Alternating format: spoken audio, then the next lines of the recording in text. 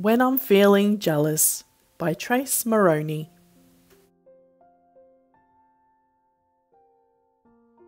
When I'm feeling jealous, I feel like a big, green, grouchy monster.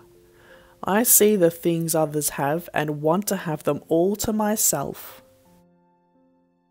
When I'm feeling jealous, I feel like mum and dad love my little brother more than they love me. Feeling jealous can sometimes make me do silly things to try and get someone to notice me. Some things just make me so jealous, like when someone has a new toy that I want, or when someone beats me in a running race and comes first, or when someone is getting more attention than I am. Feeling jealous makes me think about all the things that I don't have and the things that I'm not very good at. This doesn't make me feel very good, so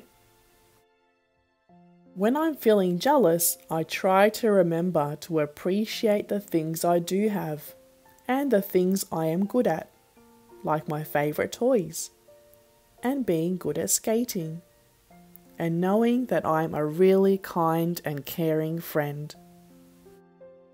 Talking about why I'm feeling jealous makes me realize that my friends and family love me for just being me.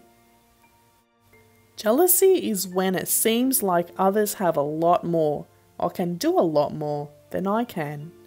Sometimes they do, sometimes they don't, and sometimes those same people may be jealous of me.